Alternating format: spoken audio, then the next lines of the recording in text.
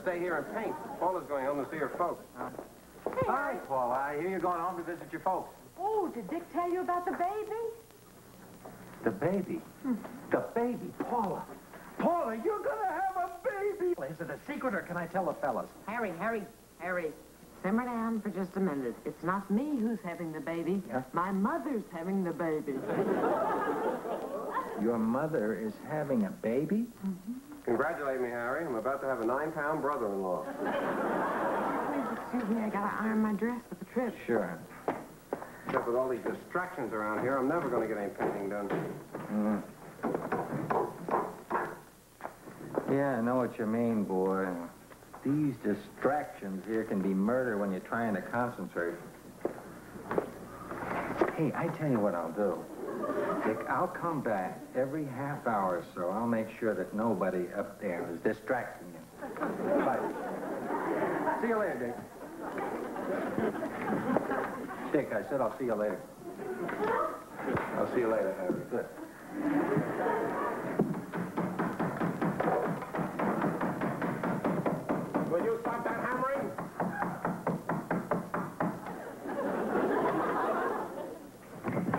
Dow Jones averages are off a point and a half. Rails are up an eighth, but industrials are down two. Yes, I'm fine, thank you, Murray. Andrew, I'd like to meet my accountant, Murray Mouse. Murray Mouse, Andrew Hummel. You? Hummel. Hummel, that's a German name, isn't it? Mouse. Mouse. That's a Disney name, isn't it?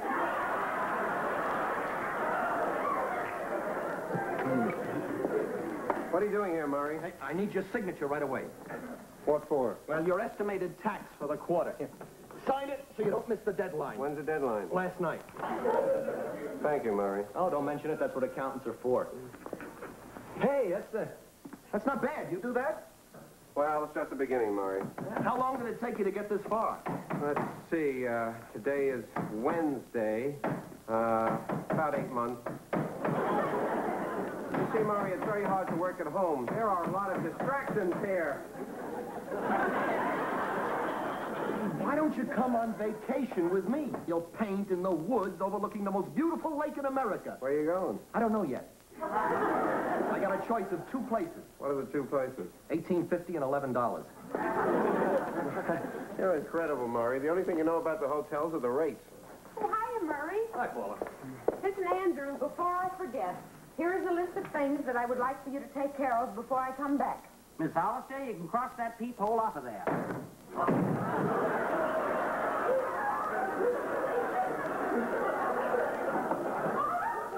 Right. Right. Cross off install peephole, put on fix front door. Well, if he does half of the things on that list, I'll never be able to get a moment's peace. Murray, Murray, can I afford to go away and paint for nine days? Mr. Hollister, if it's economy you're thinking about, I know of a quaint little cabin up in the Adirondacks. It's available. He can't afford it. It's called Hummel's Hideaway. Well, Andrew, I didn't know you owned a cabin. My daddy, Jason Hummel, built it. Was he as good with tools as you are? That man taught me everything I know. Forget it. Right up your alley. Seven fifty a day. Hey, let me see. 750 a day for nine days. That would come out to Murray, it's 6750. Murray, it's 6750. 6750.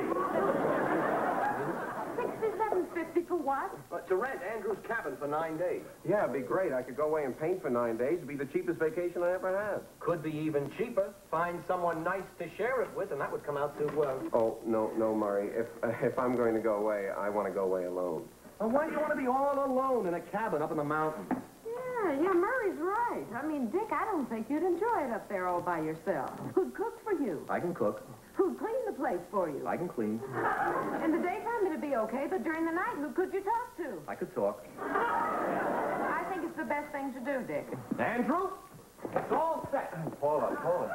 Don't you realize what you're doing? You're sticking me with Murray for nine days. Oh, gee, I'm sorry. It's all right, it's all right. I'll get out of it somehow. Okay. That's all settled. Uh, Murray, gee, I, I hate to impose on you. I mean, I know you want to go away by yourself. You didn't even ask your wife, so obviously you want to be alone. Besides, you don't be cooped up in a cabin with me for nine days. I drive you crazy, painting all day, all that noise, the brush scratching on the canvas. And, oh, I, I keep a light on very late at night reading. Oh, and I cough. Dick, I've been your accountant for eight years now. And you're the nicest, kindest, most decent person I've ever known. Now, don't worry about me. I'm only interested in you having a good time. What time do we leave in the morning, Murray?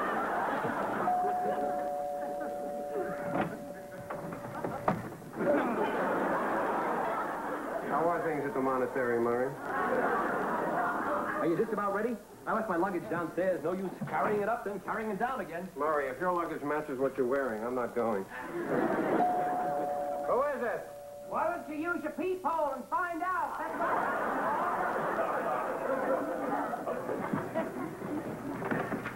Ah, Jason Hummel's boy.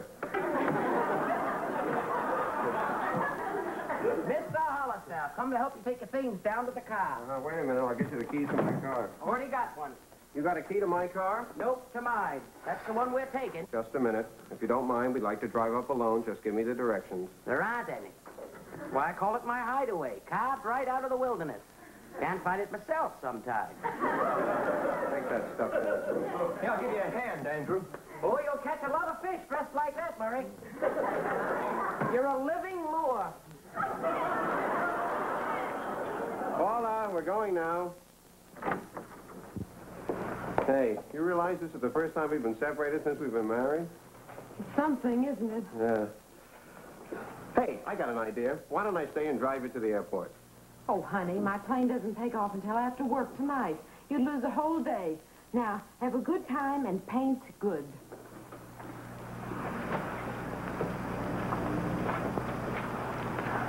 I'm not going. Hey, why don't you come up to the cabin with me? What'll you do with your little friend, Murray the Mouse? Send him home to see your mother. Nice time, and I'll see you in nine days.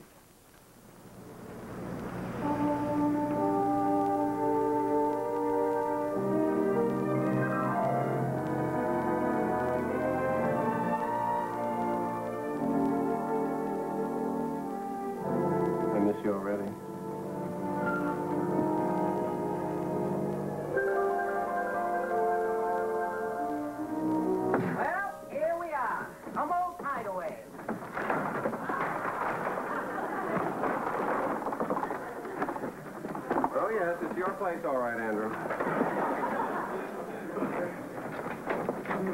Oh, oh, no. Oh, no, I told the last couple that was here to tidy up before they left. Who oh, was that, the Flintstones? Too cheap, Mr. Hollister, too cheap. Well, guess I'll have to fix that door before I go home. We'll take care of the door. Where are we going? You're going back to the city as you promised me. Guess I'll mosey along. Well, if you'd let him stop and fix that door, he'd be here the whole nine days. Bite your tongue, Murray. Bite your tongue. Where do you want to sleep, Murray? Upper or lower? Lower. Okay.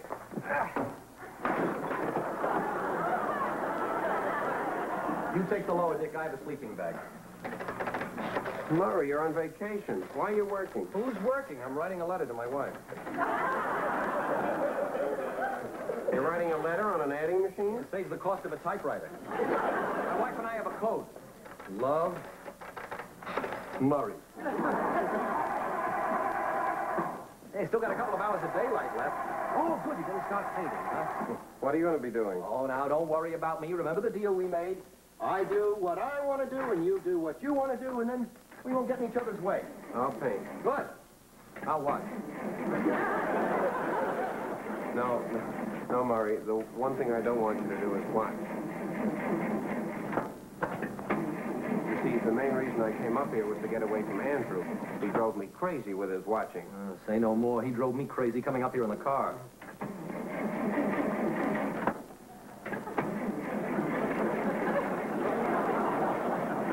Come on. Come on. Come on. Come on.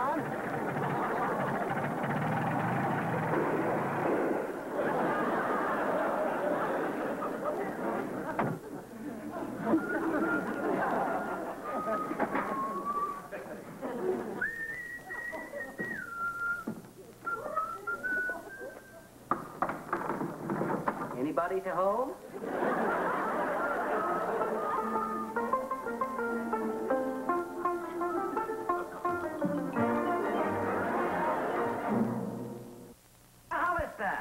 Murray, what's for lunch? Well, what would you like for lunch?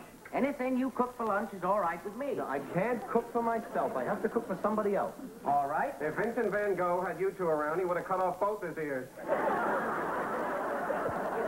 I'm glad I'm not up here on vacation. He's no fun to be with.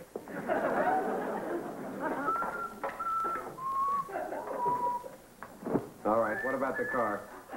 Gay put. And the LaSalle battery's hard to come by in these parts. I'll have to hike over to Ed Crowley's place and talk him into riding me into town and pick up a new one. Why can't Ed Crowley just ride over here and give you a push? With a horse? I'd better shave if I'm going over to Ed Crowley's. Ed's a dandy. Yeah. Had to bring my overnight kit. Oh, here, use mine. Much obliged. Whoop. Sorry, only nine shaves left. And we're going to be here nine days. You mean you count how many shaves there are in a can of lather? Well, doesn't everybody? Sure, there's 86 and three-fourths shaves in an economy can of lather. What if you got a mustache? Then you get 92. I ought to grow a mustache, huh? You ought to grow a beard. Then you wouldn't have to buy any lather at all. Hey, at 98 cents a can over a 20-year period, that could be quite a saving. You sound. Ah, but your wife wouldn't let you wear a beard anyway. Yeah, I suppose yours would? Your damn tootin' she would. Matter of fact, used to have a beard. Shaved it off just before I got married. Why? She told me to. Well, I'll bet you Minnie would let me wear one. Bet you she would. I'll bet you she would. She would I'll bet you she Bet you would. of- Look, look, look, look. I can't stand it anymore.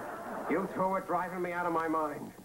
Why don't you just go ahead and grow a beard? It's not a matter of whether your wife will let you grow a beard or not. It's a man's right to grow one if he wants to. Look who's talking. He doesn't even have a beard. I'd noticed that. Well, if I wanted to grow one, I certainly wouldn't have to ask Paula's permission. I'd like to propose a little wager.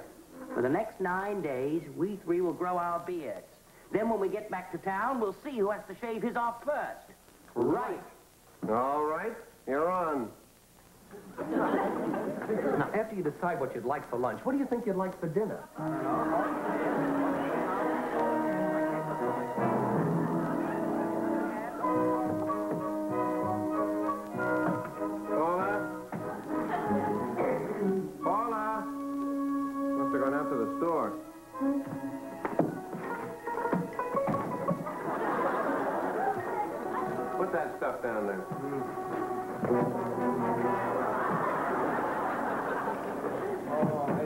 Shouldn't leave the lights on like this. That's why your electric bill is so high. Uh-huh. I have to call my wife. Can I use your phone? Sure, that's why my phone bill is so high. Hey, Dick, you home? Just walked in, Harry. Paula got back two hours ago. She went down to the supermarket to pick up a few things, and you grew a beard. hey, look at that. You know something? I like it. Hey, all three of you grew beards. That's great. That's great. Yeah, I, I grew a beard once. It looked just like Murray's. Yeah? Why'd you shave it off? I just told you. Hello, darling. It's me. Murray. I'm back. I'm up at Dick's. Hey, I, uh, I grew a beard. Same to you. So, did you get any painting done? Did you have a good time? Harry, it was a barrel of laughs. We never had so much... All right, come on. Well, I guess I uh, better get down to my apartment and tell my wife I've been away for nine days. Wouldn't want her to worry. Let's go. I'll mosey along. Being away with Murray and Andrew for nine days was worse. Was worse than being away with Murray and Andrew for nine days. I do like the beard. I'd grow one, but the chief says they're a fire hazard.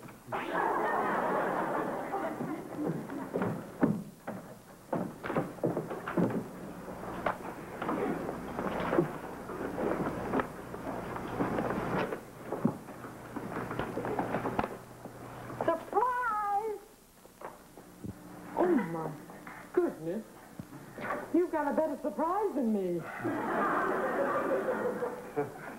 you grew a, a, uh, Beard. Right.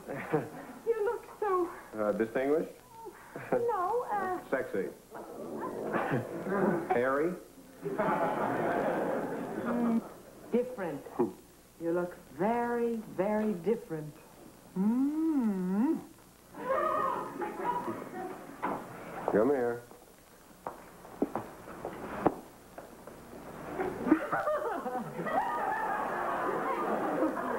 I, I'm sorry, Dick. I, I'm sorry. Forgive me. I, I'm. I, I don't know what's the matter with me. I, hmm, I got this kind of nervous reaction to it. Come on. Okay, I'm all right now. Okay. Oh, will you come on now? Come on. I'm sorry, honey. I don't know what's the matter. I can't help it now. I just am not used to it. Would you just let me touch it first? Get acquainted with the little fellow? Careful. Careful. I want you two to be friends. Ooh, ooh, ooh, ooh, it's nice. nice.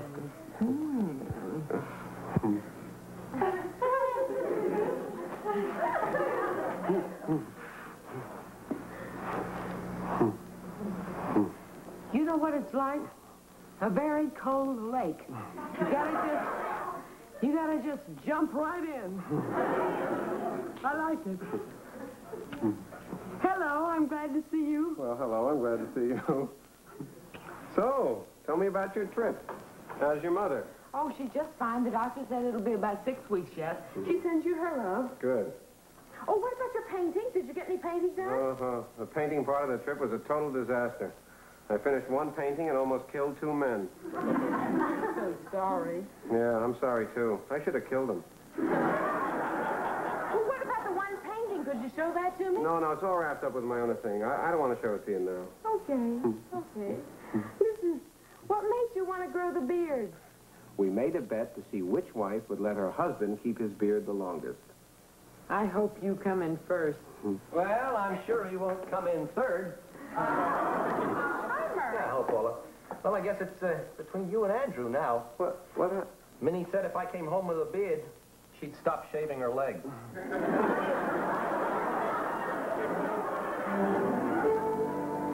Paula? Paula? Come on, when are you coming to bed? You know what time it is? 7.15.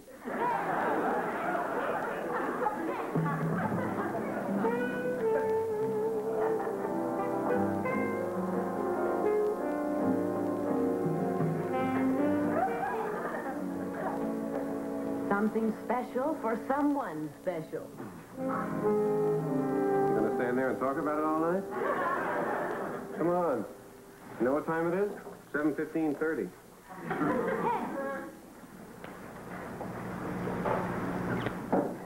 I'm so glad you like my knife. Oh, gesundheit. Excuse me.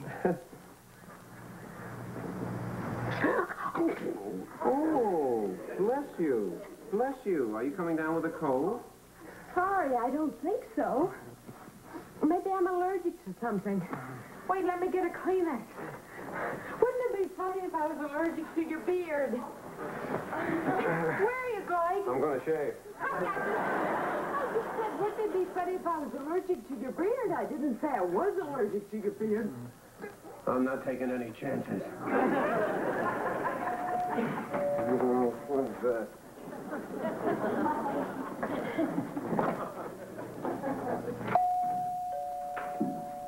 Coming, coming, coming, coming.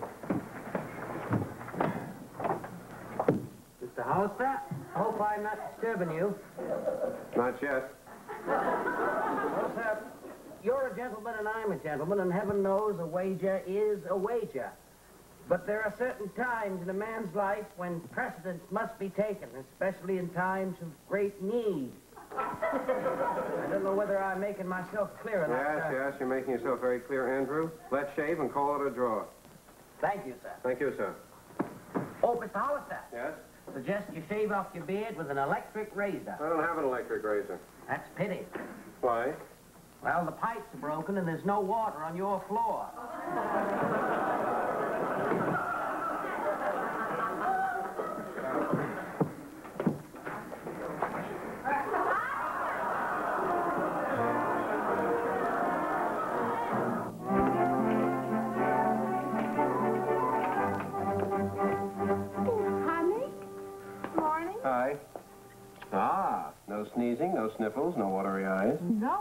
I guess I was allergic to your beard. I'm cured. I promise I'll never grow another beard again. Okay. Listen, I see you've unpacked everything. Can I see your painting? All right, sit down.